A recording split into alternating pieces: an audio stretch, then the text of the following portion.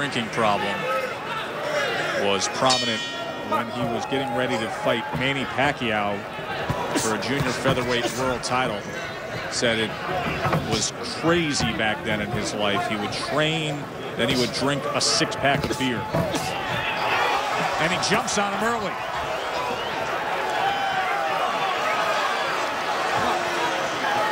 Ruling that a slip. Evans the southpaw. And as you said, guy that was a very good amateur, 185 amateur bouts to be exact. Work out in there, work out, work out, don't hold, don't hold, don't hold. Evans would have the choice. You would think he'd want to be on the outside where he's got the quicker hands.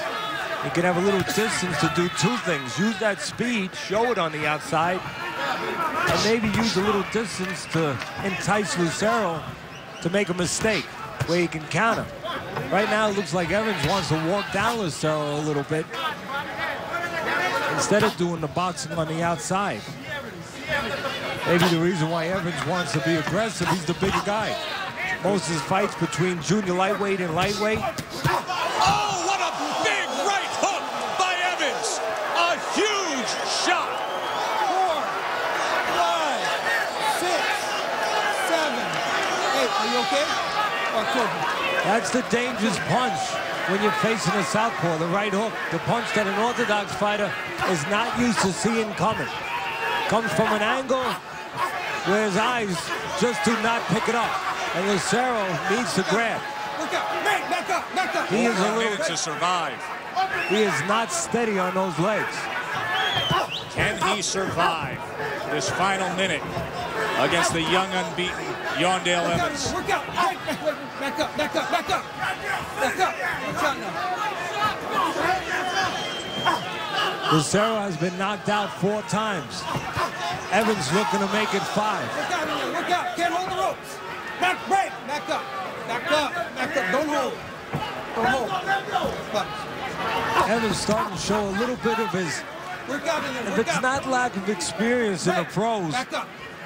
It's back a little up. bit of his Don't hold it, over don't hold. anxiousness being on television, not going to the body to set up Lucero, and then maybe allowing Lucero to survive this round.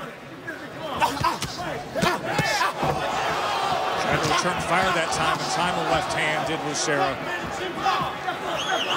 Lucero's a guy who been involved with Work out headbutts before. Bit of a billy goat in there with his head. He just clashed a moment ago Don't hold in there, okay? Don't inside with his head.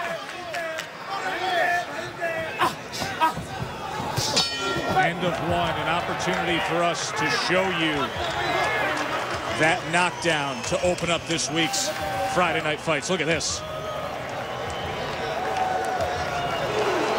And again, a good counterpunch there from Evans. He blocks a couple, and then after he blocks a couple, he counters with his right hook. And right Listen, there, a little want you to blocking and then. No coming hold, right no back. And you see Lucero, as we talk about, just taking a picture. Standing there after his last punch and getting the receipt. and then you counter with that straight right hand down the middle. That was a good round, except, except for the one right hook. All right.